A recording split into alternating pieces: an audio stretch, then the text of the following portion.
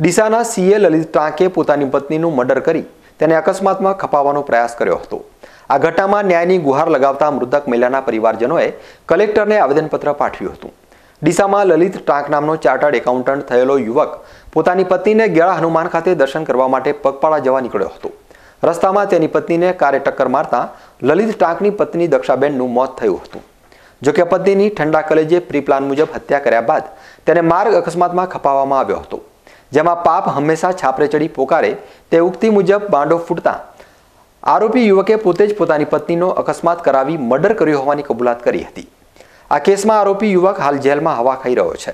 ત્યારે આ મર્ડર કેસમાં સામેલ અન્ય આરોપીઓ મોટા માથા હોય તેઓ રાજકીય છત્રછાયા ધરાવતા હોવાના આક્ષેપો સાથે મૃતકના પરિવારજનોએ કલેક્ટરને આવેદનપત્ર પાઠવ્યું હતું, જેમાં એક પણ આરોપી છટકી ન જાય અને કસૂરવારોને કડક સજા થાય તેવી માંગ કરાઈ હતી.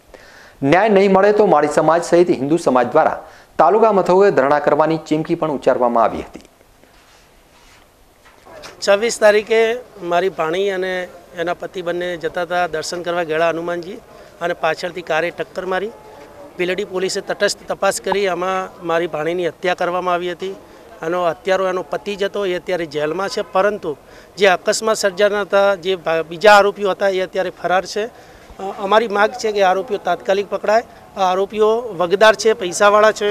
કેટલાક રાજકીય નેતાઓ એમને છાવરી રહ્યા છે એટલે અમારી સરકારને વિનંતી છે કે જે આરોપીઓ હોય એમને તાત્કાલિક કડકમાં કડક સજા મળે. આ હત્યાની અંદર એક ટકો પણ સંડોવાયેલો હોય એને પણ સજા મળવી જોઈએ. ગરીબ ઘરની દીકરીને ન્યાય મળે એવી સરકાર પાસે તમામ સમાજની હિન્દુ સમાજની માગણી છે. હત્યાનો ઈરાદો બે છે કે એક તો એને એક કરોડને વીસ લાખ રૂપિયાનો વીમો લીધો તો એ પૈસા મળી જાય. અને લફરું હતું એટલે જે અન્ય યુવતીને લાવી હતી, એ યુવતી પણ એની જોડે આવી જાય અને પૈસાદાર બની જાય. આ એને ગમતી નથી. વારંવાર ત્રાસ આપતી હતી. એના રેકોર્ડિંગ પણ અમે કર્યા છે કે આને જે વારંવાર એના ઘરે ફોન કરીને રોતી હતી કકડતી હતી, મને પરેશાન કરે છે. પરંતુ એના ઘરવાળા એનું ઘર ન ભાગે. બે નાના બાળકો છે. એમની જિંદગી બરબાદ ન થાય. તેના માટે કરીને એના પરિવારોને સમજાઈ અને એના ઘર સુધી મોકલતા હતા પાછી.